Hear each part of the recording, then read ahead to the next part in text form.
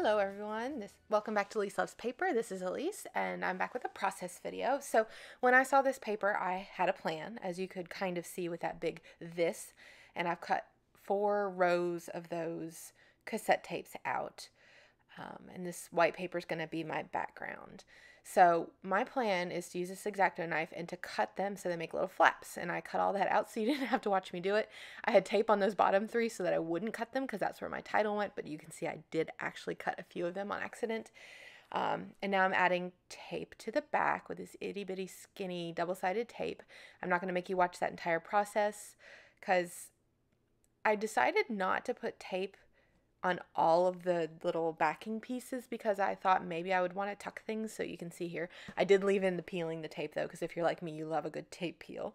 So enjoy as we peel, peel all of this tape off of the back here before we stick it onto the paper. Um, spoiler, spoiler alert, I did not end up tucking things so I could have just put tape everywhere but you know we live and learn. So I was figuring out the perfect placement for the cassettes before I stuck them down and making sure everything is stuck very well. Now you can see all the little flaps. I did score the tops of them by the way as well. Now here I'm realizing that I can't use that flap because my title's going to go there. So let's just go ahead and tape that down so it's not an issue. And let's go ahead and glue this down because I know exactly where I want it to be. So let's just go ahead and get that nailed down. I you see, I tend to work from biggest to smallest. So I knew I wanted that big element of the cassette tapes on the back and this big title element. So that's where I go next to my title.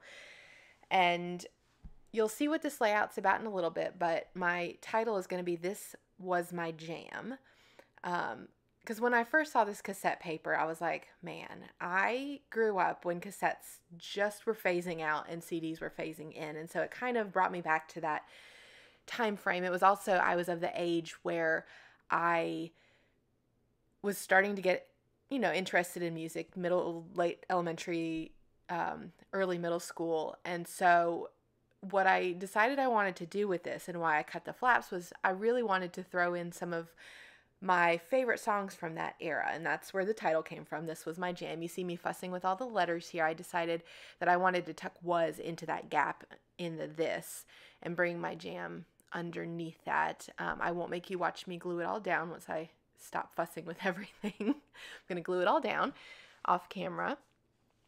And now here are all my album covers. I so this is a layout with no technical photos of like people and stuff, but I do have photos of the album covers that are going to go under the flap. So you can decide if this is a true like no photo layout or not, but I'm choosing to think that it is because it's not traditional for me. Um, I also won't make you watch me cut all of these out because it gets a little bit fiddly here because they're tiny and difficult to work with. Um, but you can see where I what age I grew up. I'm 38, and so I have like Britney Spears in there, Spice Girls, NSYNC, Backstreet Boys, Boyz II Men. I think I have TLC, No Scrubs in there.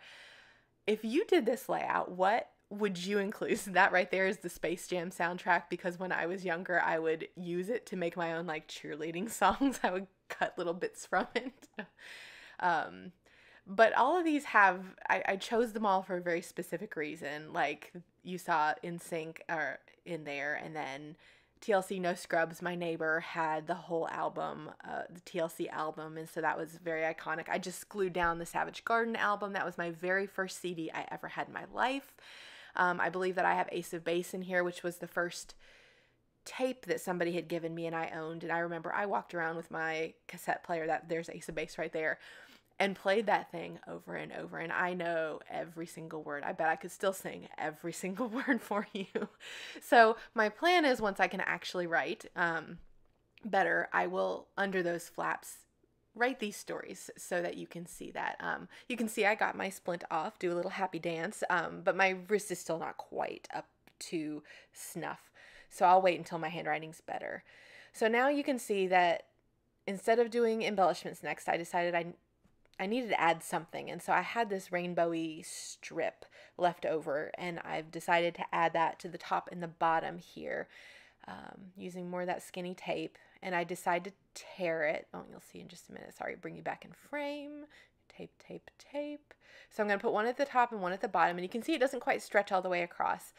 Doesn't stop me. I figure I'll just put something on the right hand side, or I don't mind leaning stuff to the right there. You see, I'm kind of tempted to throw those hearts up there. Um, but here, I do tear it to break across the title. I love that.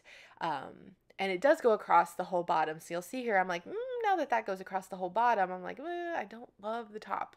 But I can throw this piece that I tore off on the other end. So I very carefully tear it up. Luckily, I hadn't pushed it very hard down, so it wasn't too, too bad. And I move it all the way over and I throw this little cutoff piece on there. It's a little bit shorter than the other one, but it doesn't matter because you'll see what I do with the heart piece in just a minute. I decided to throw that on top. Now I'm going to fuss and fuss and fuss because it's really difficult to line it up exactly where you want to cut it when the piece is so skinny that you can't move it unless the flap is up. so here I'm going to show you what it looks like. Nice slow-mo. I love those rainbow hearts. So I don't know why. I could have just put it across the whole top, but I did scoot it over. And I'm going to regret that, but it'll all turn out in the end. So here I am taping that up on top now. And I do like how that looks as is. But then I decide, I'm looking at embellishments again. I'm like, wait, no, this is standing out. So let's add some black and I add some underlining. And I love how this turned out.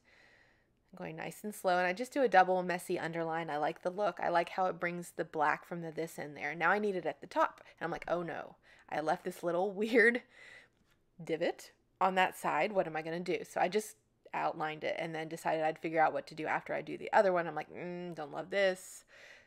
Maybe if I do that, I really don't love that. I was like, okay, let's, could I add that? But then I realized the background for that reason, for some reason on that one was not the same white and it bothered me. So let's cover it up. you can always cover it up, right? Isn't that what Adele always says? You can always cover it up. And so that's what I do with some stickers. And then I just start throwing more of these stickers on so they don't look so plonked on. I have plenty of them on this sticker sheet. And I make three little clusters and I love how they look. Now, how do you feel about mixing metals like this? So we have the gold from Was My Jam and then we have this like holographic. Clearly it doesn't bother me. I threw it on here. They're so different to me that they read differently. To me, it's like two different colors, like a yellow and a bluey purple. Um, but I know some people really don't like mixing them. So let me know what you think about that. So I'm taking a few more stickers, throwing them in here with these albums. I have a feeling that when I do actually go back in and add my journaling for each one that I might decorate these a little bit more, but for now I'm just kind of throwing some stickers in there.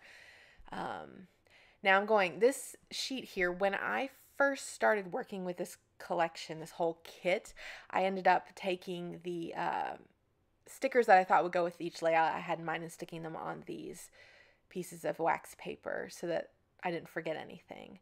Now I stuck those two cassette tapes on there and you'll see here in a minute I realize I they're not standing out enough so here I'm going to get some black cardstock and cut them out and we're almost done with this layout. It was a very very fast one. I mean minus the journaling I have yet to do but it came together really quickly and easily, and in the end, I love how it turned out. So here we go. This just little outline of black really, really helped so much. Just the little things like that. So here I am sticking those on, and we're done. I hope you like it. I'll see you soon. Bye.